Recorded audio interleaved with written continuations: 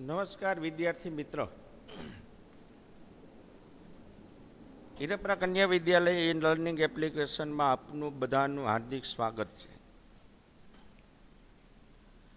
E learning એપ્લિકેશનમાં આજે ધોરણ અગિયાર, અર્થશાસ્ત્ર પ્રકરણ નંબર નવ, જે પાઠનું નામ છે રાષ્ટ્રીય આવક. એના વિશે આપણે થોડીક ચર્ચા કરીશું. આગળ આપણે જોઈ ગયા હતા સામાન્ય રીતે રાષ્ટ્રીય આવક, રાષ્ટ્રીય આવકનો સામાન્ય અર્થ. આ ઉપરાંત જુદા જુદા અર્થશાસ્ત્રીઓએ આપેલી રાષ્ટ્રીય આવકની વ્યાખ્યાઓ. ત્યાર પછી જોઈ ગયા હતા રાષ્ટ્રીય આવક અને રાષ્ટ્રીય પેદાશ. રાષ્ટ્રીય આવક અને રાષ્ટ્રીય પેદાશના આધારે રાષ્ટ્રીય આવકની જુદી જુદી ગણતરીની પદ્ધતિઓ. જેમાં રાષ્ટ્રીય આવકની ગણતરીની પદ્ધતિઓના મુખ્ય અર્થતંત્રના બે ભાગ, લિપ્ત અર્થતંત્ર અને ખુલ્લું અર્થતંત્ર. જેમાં અલિપ્ત અર્થતંત્રમાં રાષ્ટ્રીય આવકનો ચક્રીય પ્રવાહ, જ્યાં જે વિશ્વના દેશોમાં ક્યાંય અલિપ્ત અર્થતંત્ર જોવા નથી મળતું, એના આધારે રાષ્ટ્રીય આવકના ચક્રીય પ્રવાહની ગણતરી આકૃતિ સાથે જોઈ. ત્યાર પછી ખુલ્લા અર્થતંત્રમાં રાષ્ટ્રીય આવકની ગણતરીની જુદી જુદી પદ્ધતિઓ, જેમાં જીડીપી જીએનપી એનએનપી એનડીપી અને છેલ્લે જોઈ ગયા માથાદીઠ આવક. ત્યાર પછી રાષ્ટ્રીય આવકની માપનની મહત્વની ત્રણ પદ્ધતિઓ. આવકની પદ્ધતિ, ઉત્પાદનની પદ્ધતિ અને ખર્ચની પદ્ધતિ છેલ્લા લેક્ચરમાં આપણે જોઈ ગયા હતા ઉત્પાદનની પદ્ધતિને આધારે રાષ્ટ્રીય આવકની ગણતરી. આજે વિશ્વના મોટાભાગના દેશોમાં રાષ્ટ્રીય આવકની ગણતરીની મોટાભાગે આ ત્રણ પદ્ધતિના આધારે રાષ્ટ્રીય આવક ગણવામાં આવે છે. ઉત્પાદનની પદ્ધતિના આધારે ઉત્પાદન દેશમાં થતું કુલ ઉત્પાદન કૃષિ ઉદ્યોગ અને સેવાના આધારે જે ઉત્પાદન થાય છે, એ ઉત્પાદનના મૂલ્યના આધારે રાષ્ટ્રીય આવક ગણવામાં આવે છે. આજે આપણે જોવાનું છે,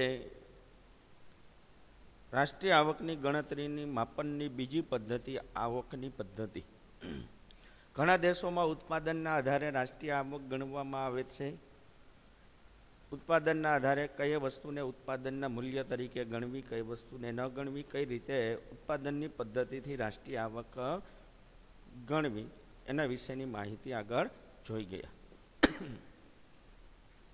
એના જેવો જ આજનો બીજો મહત્વનો મુદ્દો છે, રાષ્ટ્રીય આવકની ગણતરીની પદ્ધતિમાં આવકની પદ્ધતિ. તો સામાન્ય રીતે આવકની પદ્ધતિ કેને કહેશું? આવકની પદ્ધતિના આધારે રાષ્ટ્રીય આવક કઈ રીતે ગણવામાં આવે છે? એના કેટલાક મુદ્દાઓ આપણે આજે જોશું. જેમાં આગળ આપણે જોઈ ગયા હતા પ્રોફેસર એસી પીગુના મત પ્રમાણે રાષ્ટ્રીય આવક એ વસ્તુ અને સેવાઓનો આવકનો એક પ્રવાહ છે. અને આ પ્રવાહના આધારે આજે આપણે નાણાં દ્વારા સહેલાઈથી એ જાણી શકાય છે. એટલે કે દેશના નાગરિકો અને વિદેશના નાગરિકોની કુલ આવક છે જેને આપણે નાણાં વડે દર્શાવીએ છીએ. અને એ નાણાંના આધારે જે રાષ્ટ્રીય આવક ગણવામાં આવે છે, એ પદ્ધતિને આપણે આવકની પદ્ધતિ તરીકે ઓળખીએ છીએ. ટૂંકમાં કહેવું હોય તો રાષ્ટ્રીય આવકની માપનની આવકની પદ્ધતિનો વિકસાવવાનો શ્રેય એટલે આ પદ્ધતિ એ પ્રોફેસર પીગુ નામના અર્થશાસ્ત્રી આપી છે. કે જેમાં જેને શું કીધું? તો કે વર્ષ દરમિયાન દેશના નાગરિકો અને રાજ્યને જે આવક પ્રાપ્ત થાય છે તેનો સરવાળો કરીને રાષ્ટ્રીય આવક જાણી શકાય છે.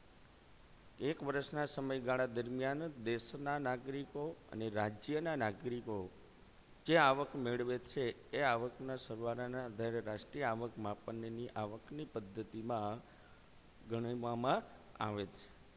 સામાન્ય રીતે રાષ્ટ્રીય આવક માપનની આવકની પદ્ધતિમાં ઉત્પાદનના મહત્ત્વના ચાર સાધનો જમીન, મૂડી, શ્રમ અને નિયોજક જે આગળ જોઈએ.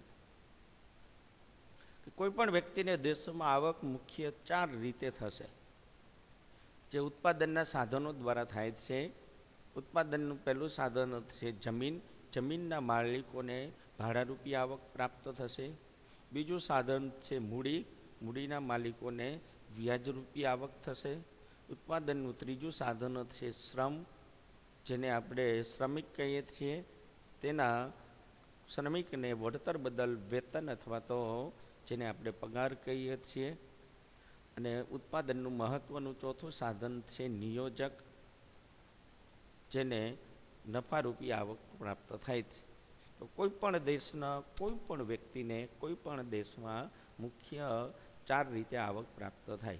કાં એને ભાડોરૂપી આવક થશે કાં વ્યાજરૂપી આવક થશે કાં વેતનરૂપી આવક થશે કાં નફારૂપી આવક થશે. આ આવકનો કુલ સરવાળો કરવામાં આવે એટલે આખા દેશની આવક પ્રાપ્ત થાય, જેને આવકની પદ્ધતિ તરીકે ઓળખવામાં આવે છે. ટૂંકમાં કહેવું હોય તો વર્ષ દરમિયાન એક વર્ષના સમયગાળામાં દેશમાં ભાડું, વેતન, વ્યાજ અને નફારૂપી આવકનો સરવાળો એટલે રાષ્ટ્રીય આવક. આમ, આ સરવાળામાં વિદેશમાંથી મળતી આવક ઉમેરવાની હોય છે અને આપણા દેશમાં વપરાયેલા વિદેશી સાધનોને વિદેશમાંથી એટલે કે ભારતના લોકો વિદેશમાં જઈને ભાડું, વેતન, વ્યાજ કે નફો મેળવે એ ભારતમાં આવક આવશે તો એ ભારતની રાષ્ટ્રીય આવકમાં ઉમેરાશે. એવું જ, વિદેશના નાગરિકો ભારતમાં આવીને ભાડું, વેતન, વ્યાજ અને નફારૂપી જે આવક મેળવશે, એ એના દેશમાં લઈ જશે, તો ભારતમાંથી એટલી આવક જશે, એટલે કે એ ચૂકવણીઓ હોય, તો એને બાદ કરવામાં આવે. અને વિદેશમાંથી ભારતના લોકોએ જે આવક મેળવી હોય, એને ઉમેરવામાં આવે. છે એના આધારે સાચી રાષ્ટ્રીય આવક એનએનપી પ્રાપ્ત થશે, જેને આપણે ચોખ્ખી રાષ્ટ્રીય આવક કહીએ છીએ. આમ આ પદ્ધતિથી રાષ્ટ્રીય આવકની ગણતરી કરતી વખતે કયા મુદ્દાઓને ધ્યાનમાં લેવાના છે એ આપણે ખાલી આ લેક્ચરની અંદર જોવાનું છે.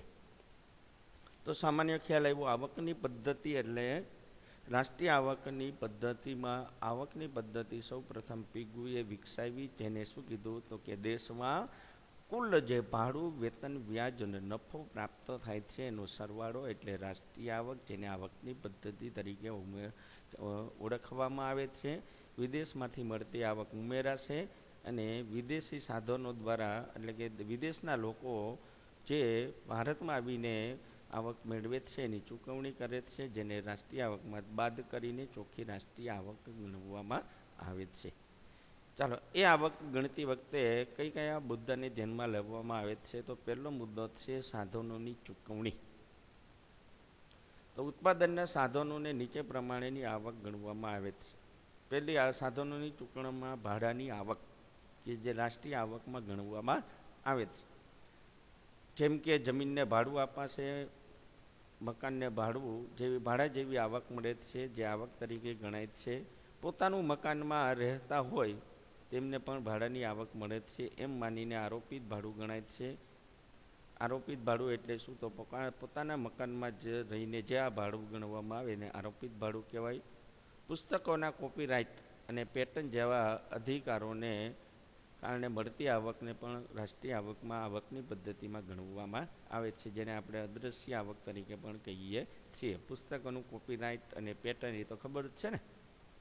કે સામાન્ય રીતે કોઈ વ્યક્તિએ સંશોધન કર્યું, કોઈ નવી બુક બહાર પાડી અને એ જે બુક બહાર પાડી એ જેટલી નંગ વેચાય તો એ એના ઉપર એને કોપીરાઇટ બીજા વ્યક્તિ કોપી કરી શકે નહીં, એના ઉપર એને કમિશન મળે અથવા તો એની પેટર્ન બહાર પાડે અને એના આધારે એને જે આવક થાય છે, એ આવક રાષ્ટ્રીય આવકમાં ગણવામાં આવે છે. એટલે કે ભાડાની આવક એવી જ વ્યાજની આવક તો લોકોને વર્ષ દરમિયાન મૂડી ઉપર જે વ્યાજ મળે છે તેની ગણતરી થાય છે. રાજ્ય તરફથી મળતું વ્યાજ બાકાત કરવામાં આવે છે કારણ કે રાજ્ય કરવેરા દ્વારા આવક મેળવે છે અને વ્યાજ તરીકે નાણું ચૂકવે છે. એટલા માટે ફક્ત નાણાંની શું થશે? હેરફેર થશે રાજ્યના આવક વ્યક્તિની મૂડી છે. એના ઉપર જે વ્યાજ મળે છે એ વ્યક્તિની આવક છે જે રાષ્ટ્રીય આવકમાં ગણવામાં આવે છે. ત્રીજું છે વેતનની આવક. આગળ જોઈએ ને, ઉત્પાદનનું મહત્ત્વનું ત્રીજું સાધન શ્રમિક. શ્રમિકને, શ્રમિકોને વર્ષ દરમિયાન તેના કાર્યના બદલામાં વેતન અથવા તો પગાર મળે છે, જેને રાષ્ટ્રીય આવકમાં ગણવામાં આવે છે. ઉત્પાદનનું ચોથું સાધન છે નિયોજક, જેને પ્રાપ્ત થાય છે નફો, એ નફા રૂપિયા આવક રાષ્ટ્રીય આવકમાં ગણાશે. એટલે કે રોકાણકારો, નિયોજકોને જે નફો અને ડિવિડન્ડના રૂપમાં આવક મળે છે તે ગણાય છે. આમ કંપનીઓને અનામત નફો અને તેના ઉપર ચૂકવેલા કરવેરાનો પણ સમાવેશ થાય છે. આમ રાષ્ટ્રીય આવકની અંદર આવકની સાધનોની ગણતરીમાં ભાડાની આવક, વ્યાજની આવક, વેતનની આવક અને નફાની આવકમાંથી કેટલીક આવકો ગણવામાં આવે છે. એવાથી કેટલીક આવકો એવી છે કે જે ગણવામાં આવશે તો રાષ્ટ્રીય આવકની સાચી ગણતરી પ્રાપ્ત થતી નથી. તો એમાં કઈ આવકો ગણવામાં આવતી નથી? એટલે કે ન ગણવામાં આવતી આવક.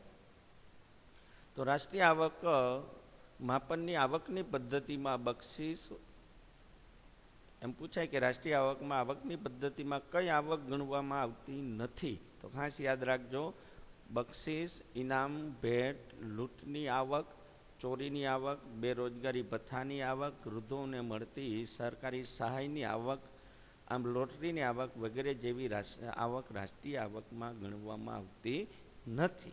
કારણ કે આ આવકોમાંથી બધી જ આવકો એક વખત રાષ્ટ્રીય આવકમાં ગણાઈ ગઈ હોય છે. જો બીજી વખત ગણવામાં આવે તો રાષ્ટ્રીય આવકની ગણતરી બેવડાશે એટલા માટે ગણવામાં આવતી નથી. કારણ કે અહીંયા નાણાંની ખાલી શું થાય છે? તો હેરફેર જ થાય છે. સામાન્ય એક ઉદાહરણ લઈએ કે દાખલા તરીકે મારી આવક વર્ષની પાંચ લાખ રૂપિયા છે. એમાંથી બે લાખ રૂપિયા મેં કોઈને ઇનામ તરીકે આપ્યા. તો પાંચ લાખની મારી આવક ગણાણી. હવે જે બે સામે વ્યક્તિને મેં ઇનામ તરીકે આપ્યો અથવા તો બક્ષિસ આપી અથવા તો મારા ઘરના સભ્યને મેં ભેટ આપી. તો એ બે લાખ એની આવક ગણાશે તો ટોટલ આવક કેટલી થઈ? તો કે સાત લાખ. ખરેખર આવક કેટલી થઈ છે? તો કે પાંચ લાખ. પાંચ લાખમાં જ બે લાખ મેં એને શું આપ્યા? બક્ષિસ સ્વરૂપે, ભેટ સ્વરૂપે.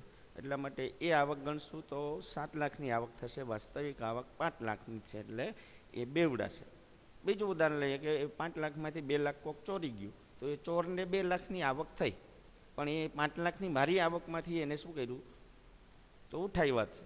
એને પોતે ઉત્પાદન કરીને મેળવી નથી, એટલા માટે એ લૂંટની, ચોરીની આવક એ ગણવામાં આવતી નથી. એવું જે સરકાર બેરોજગારી ભથ્થું, વૃદ્ધાવસ્થાઓને, વૃદ્ધ વ્યક્તિઓને જે પેન્શન, વૃદ્ધાવસ્થામાં પેન્શન આપે છે, એને આવક ગણવામાં આવતી નથી. ચલો નંબર બે, ત્રણ.